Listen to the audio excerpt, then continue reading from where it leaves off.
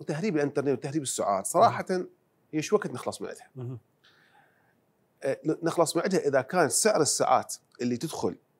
للعراق ارخ يعني تكون إذا كانت اسعارها رخيصة ماكو فرق اذا تهربها. يعني الدولة تعطيك إياها بسعر قريب جدا. تعرف هسه أنت سعر الإنترنت الميجا يوصل للحدود العراقية تجيبه من ألمانيا توصل الحدود العراقية سعره تقريبا دولار. دولار. دولار واصل الحدود هذا زين. حتى تنقله داخل حدود العراقية وتوصله للبداله تستخدم البنى التحتية الخاصة بوزارة الاتصالات. تدفع تقريبا خلينا نقول بحدود 20 دولار يعني 25 ألف هيك كم ضعف؟ يمكن 20 20 ضعف؟ أي بس. مجرد انت عبرت داخل. العراق أي فراح يصير بالنتيجة أسعاره مكلفة يعني من دولار راح يصير يكلف الشركات اللي 26 دولار صار هذا هو سبب الإنترنت الوزارة يعني تقول لك بأنه هذه سياسة يعني هو سي- تمويل ذاتي. أحتاج انطي رواتب موظفين فلازم أعزل- احمله أكثر وأنا أحمل لما أحمل. هذا. أي. للمستخدم. فإيش وقت ما تكون أكو سياسة جديدة؟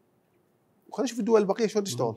مو نفس بهاي هذا ال approach هو الطريقة. هو بالخارج سعره أقل مثلا أو. سعره أغلى؟ لا قلب بالتأكيد. لذلك يتهرب. أي زين شوي هو يتهرب؟ شنو يتهرب؟ مو معناه يتهرب أنا أجيب الإنترنت وهربه إلى العراق. زين. أجيب لها مثل عندي. بضاعة. لا. أهرب ساعات يعني راح أستخدم يعني اشتري ساعات؟ بكلف أرخص بكثير.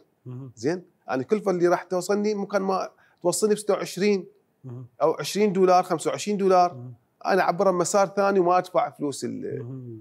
ال للوزارة. زين؟ بهالطريقة. بهالطريقة.